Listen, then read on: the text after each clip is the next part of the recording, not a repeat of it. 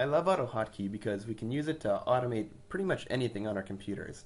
We're able to, you know, launch programs, launch files, uh, send virtual mouse clicks and key keystrokes uh, from the keyboard. Um, so I love using AutoHotkey to do so many things. My philosophy really is automate everything.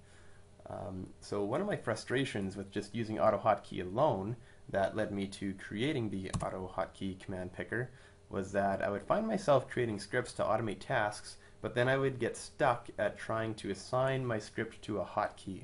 There simply weren't enough hotkeys available for me to use.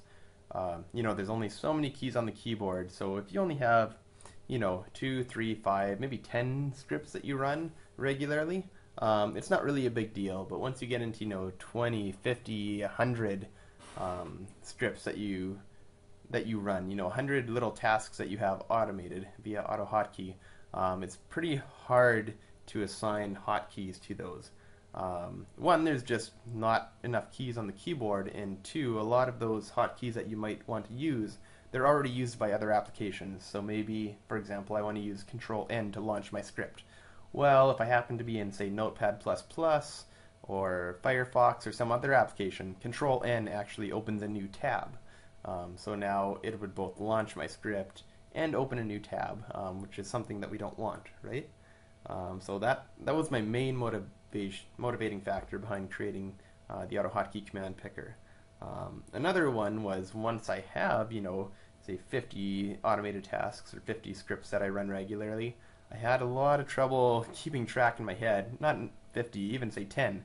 I had trouble keeping track of which hotkeys launched which scripts. So I would wonder to myself, does Windows key A launch, you know, script A or script B? Well, I can't remember, so I'm just going to press it and we'll see what happens. Um, so that was another another factor. Um, and another one was accidentally launching scripts. Uh, so let's say my hands just accidentally grazed the keyboard and I hit Windows key A. That might fire off a script that I didn't mean to send.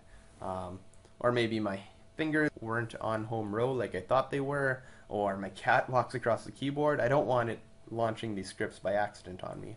Uh, so that problem is also solved by the command picker here because one, you have to hit the caps lock key to launch the program. Then you have to type the name of the command that you want to launch, and then you have to hit enter. So it's pretty unlikely that you're going to launch a script by accident. Um, you may launch the wrong script accidentally, um, so maybe I instead of hitting MS for media stop, I hit MP or something like that for play pause, so I have a typo, um, but that's just a user error. So that's why I was inspired to make the AutoHotkey command picker, and I hope you find it really useful. Thanks.